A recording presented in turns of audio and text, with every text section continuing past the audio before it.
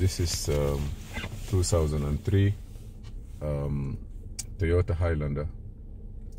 Um, it has only a valet key. Valet key means this is only a valet key. Valet key will open uh, the door, but it will not open the trunk, and it will not open the the glove compartment, but it will start the car. Also, you cannot add a key. On those car, you cannot add a key if you have a valet key. But if you have a master key, you will be able to add a valet key.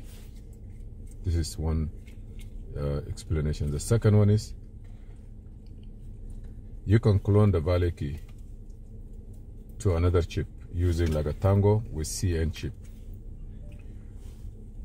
The third thing is that you have to wipe out the whole computer. You have to take the engine computer out, virginize it, and then you're gonna put the first key. Gonna be master key. The second key, the second key will be master key, and the third key will be a valet key.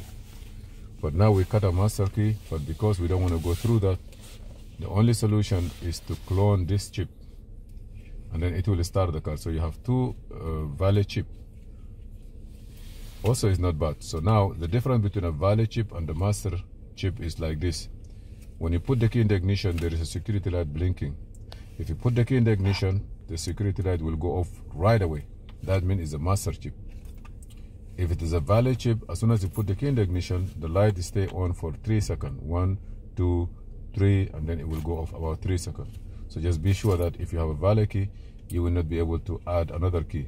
Programming those key for 2003 to 2005 um, Toyota Highlander and some Toyota Camry, the oldest one, 4C chip. You must do it manually. Manually by you can like you're gonna put the key in the ignition, do not turn it on, push the gas pedal five times, then push the, the brake pedal six times, then take the key out, put the new key, push the gas pedal one time. The light will start will start blinking, blinking, blinking, blinking, then it will go off, it register. But that one in one condition if you have a master chip.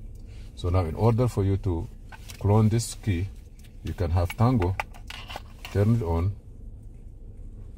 open Tango, and as soon as Tango open, Tango you have to update this original one. Now you go here into transponder type and click on 4C. It will open this one for you. You have to read the key. You see here E417. Now you're gonna take this key out and then you have to put a, a, a chip with a CN CN uh, CN1 you're gonna write you can write all this chip. CN1 CN2 YS-01 LKP02 EHS or TPX1 so I'm gonna write down CN1 and you say okay writing you say okay you write it down. You see here now 17 if I say read it reads 17 that's it. Now you just have to take this key put in ignition and you start the car. And now you have two keys. Thank you for watching mobile electronic. I'll see you in another video. This is muhammad idris. Please if you like if you like our video click and share. And see you in another video. Thank you